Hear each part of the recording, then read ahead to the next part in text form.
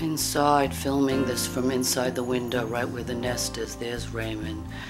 There's Betty. Here she comes back up to the nest because she spots me up here, even if I'm three feet away from the window. But as you can see, here she is right by her nest. And you really can't see what's going on there. There's some eggs under there, but there's no movement, which is a good thing because it's freezing. And it's not really a day to um, have your baby sleep in the nest. We're gonna get Raymond up here now. Might as well. Hey Raymond, you coming up too? I'm up here.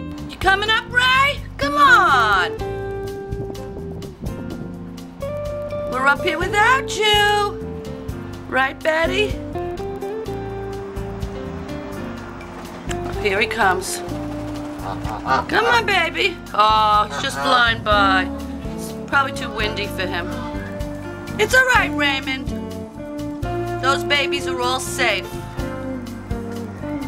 Right, Betty?